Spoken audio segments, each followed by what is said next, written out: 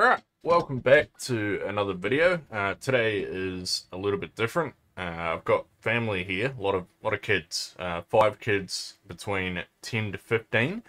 So we needed to keep them entertained. And the best way to do that was to set my uh, PS5 up downstairs on the big screen TV. And um, and that worked. That, that kept them pretty entertained for a while. But uh, it did mean that I couldn't make my usual video. Not so much because, you know, it was down there. Just kept them off. Just I normally play uh, on a desk setup, you know, with uh, a, a gaming monitor, a good headset, that kind of thing. But I thought, you know what, if I can't do my mouse and keyboard video, because that's just a bit, you know, a bit too difficult downstairs on a big screen TV, I thought, you know what, there's a lot of noise going on, it's on a big screen TV, no headset, this is how a lot of people play, right? You know, kids get their, their time after school with maybe siblings screaming at them, parents telling them to bloody get off the get off the game. Can't you just save it? You know, that kind of stuff. Or um, yeah, people just getting home from uh, uh just finishing work, want to play a couple of games. Yeah, got kids around, got people wanting them to do you know do stuff. So this is this is how a lot of people actually play. I thought, well, you know, how will I, how will I go? You know, with all these distractions, you know, can't hear the game properly. There's no 3D audio, you know, no no headset. So I figured I'd just jump on, play a couple of games, and uh, and see what happened. Um, it was loud around me. There was a lot of distractions, and I did have, you know, I was talking to people while I was playing as well. But um, that's all right. It was, you know, just different to see how it goes, not under my normal circumstances. So I recorded this, and now I'm just doing the voiceover. Normally, I just I just talk while I while I'm playing. I just record it all in uh, in one go, and just cut out what I don't want. But today I just recorded it, copied it over to my laptop, and now I'm just doing the voiceover. So I figured while we were watching some gameplay, we'd have a bit of a chat about what we do and don't want for Modern Warfare 2 and uh, and Warzone 2, you know? It's coming up. That's the whole point of this, is to learn mouse and keyboard before they release. And um, hopefully be able to, you know, play at a, a reasonably acceptable level when uh, when they come out on mouse and keyboard. But definitely something I'm looking forward to the coming out is the DMZ mode. I'm really looking forward to that. I'm looking forward to seeing how they do it, how in-depth it is. I hope it's a lot more in-depth than Hazard Zone was. Obviously, we don't want it to be in-depth, uh, or as in-depth as uh, Tarkov is. That's... If you want that level of detail, you play a game specifically made for that, not a mode of a different game, you know? So hopefully there's good middle ground. Admittedly, it probably would be closer to Hazard Zone than, than Tarkov. But hopefully there's good middle ground there somewhere. The rumor at this stage is it's going to be part of the Modern Warfare 2 bundle. So behind a paywall, you have to pay to be able to play it.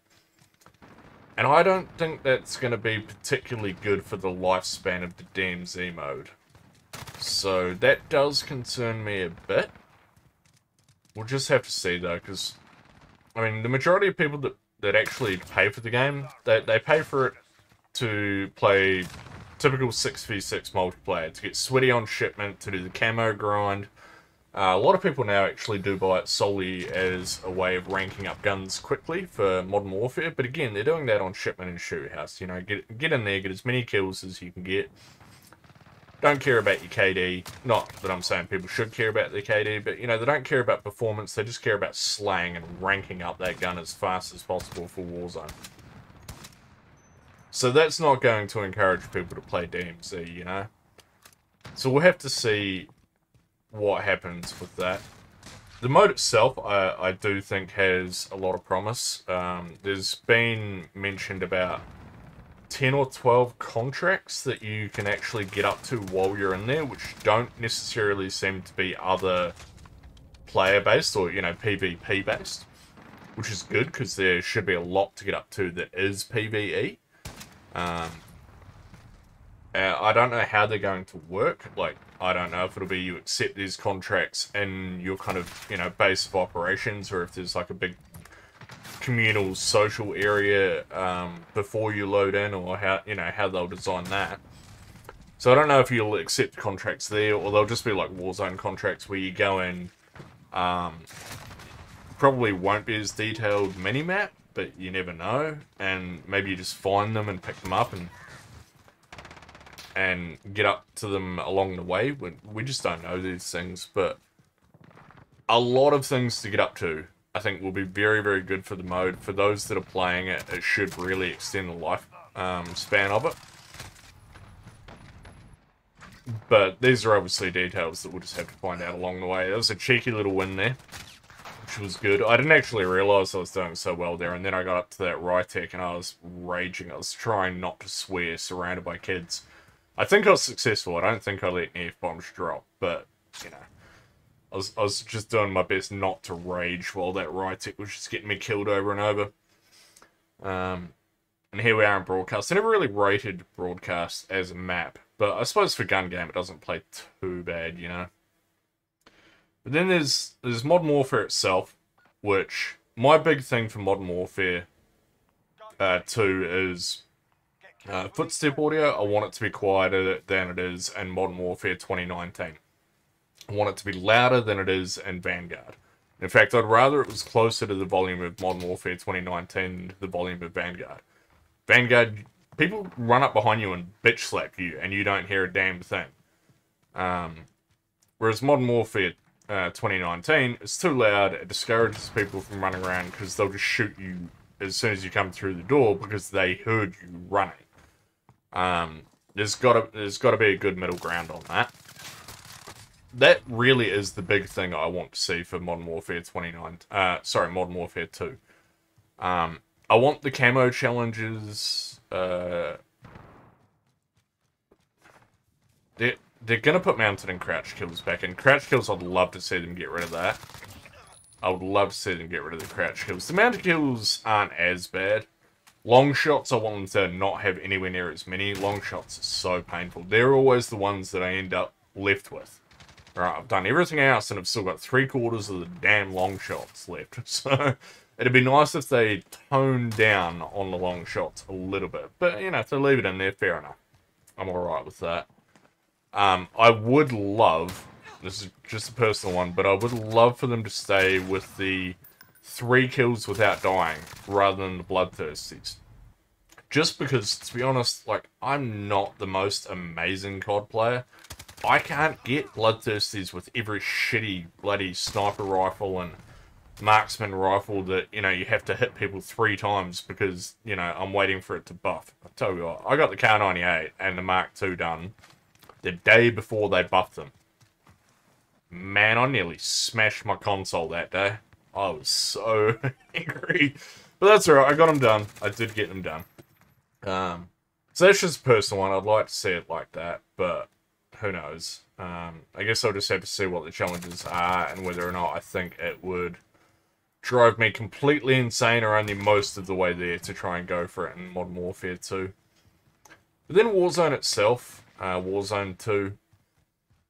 I don't know. The, the biggest change I would love to see to Warzone is never going to happen.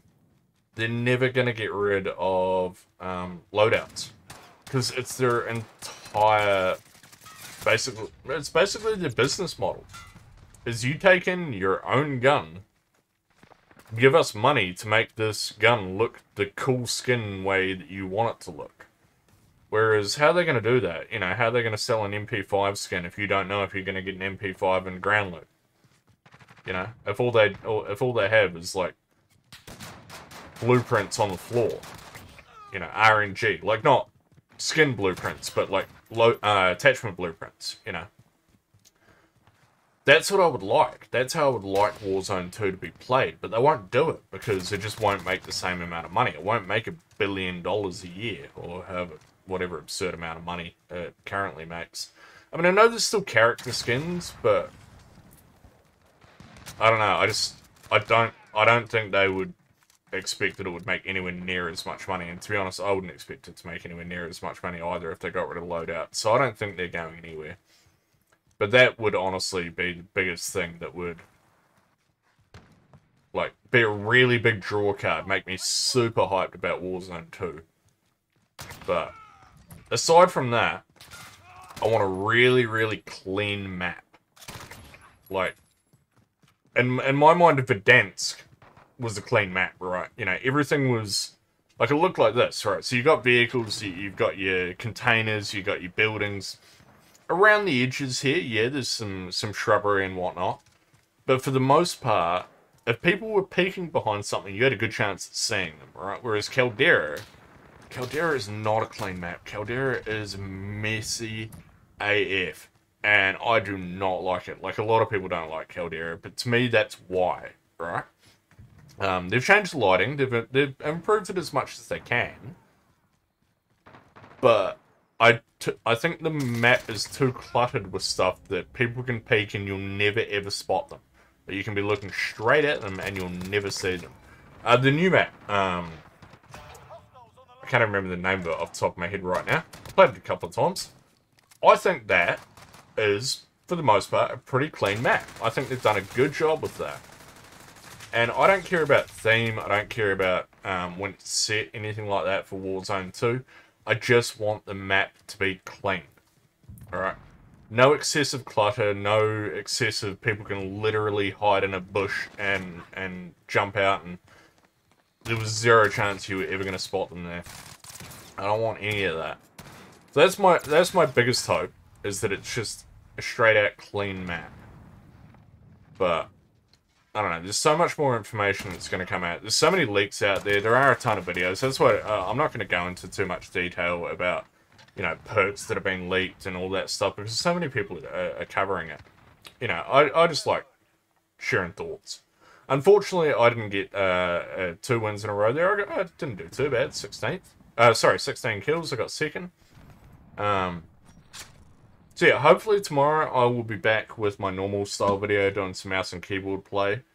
But yeah, if you're liking the videos, make sure to sub and drop a like. And I will see you in the next one. Thanks for watching.